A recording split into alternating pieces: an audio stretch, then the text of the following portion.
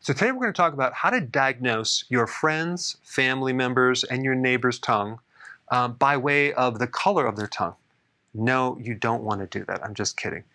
And of course, when I say diagnose, we're just talking about clues of potential underlying causes. This is not a full diagnosis. The color of your tongue can give you valuable information on what's going on internally. So let's go through the different colors. If the tongue is bright red, it could be a folate deficiency. This is a vitamin B9. It could be B12 deficiency. It could be scarlet fever. You usually get scarlet fever between ages 5 and 15 years old.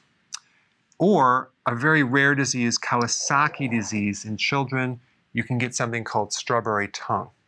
Next one is purple tongue. This is very poor circulation. Now, this is similar to the blue tongue where you can have just decreased oxygen, hypoxia.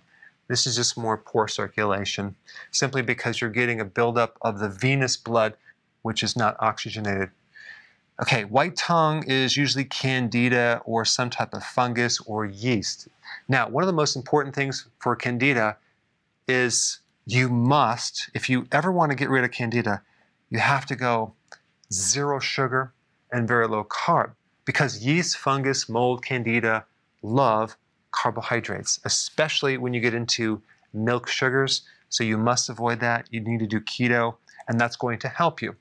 Now, if the tongue is dark or black, it could be some medication you're taking, or you're doing chewing tobacco or smoking excessively, or radiation poisoning can also create this effect.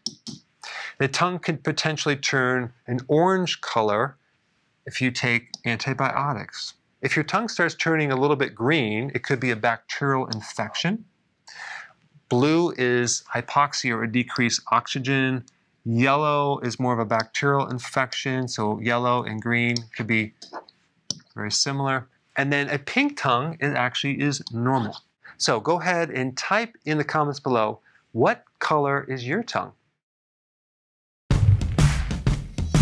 We're back. With another amazing recipe. No grains, no sugar, totally keto. There's no suffering in keto. Absolutely not, Karen. And it's an immune system builder. Absolutely. You have to check this out. I think you should hurry up, watch the recipe, and make it yourself. It's just so easy to be keto. But is it simple? It's super simple. We hope you enjoy making it as much as we are enjoying eating it.